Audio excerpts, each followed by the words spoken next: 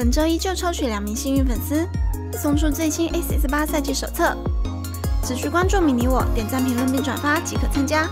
最酷炫的海盗时装等着你哦！小红，你先说说今天的事发经过，将整个事情从头到尾说一遍吧。事情经过是这样的。Two thousand years later。好的，事情经过我已经大概了解了。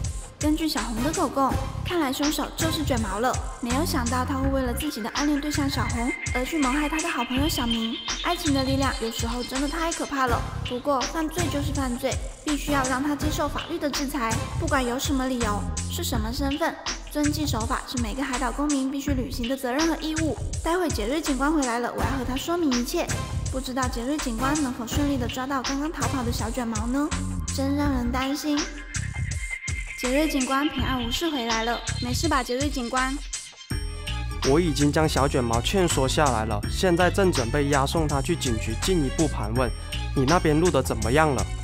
一切顺利，全部搞定了。那我们先回局里，其他人除了小卷毛，你们都各回各家吧。有事我会找你们的。对了，安排局里的技术人员尽快出验尸报告，我要回去之前看到这个报告。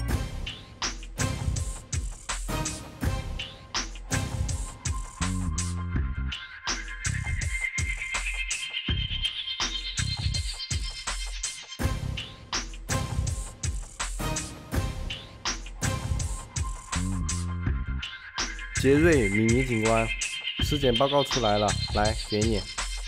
等下尸检报告你不要和卷毛说出来，我后面有用。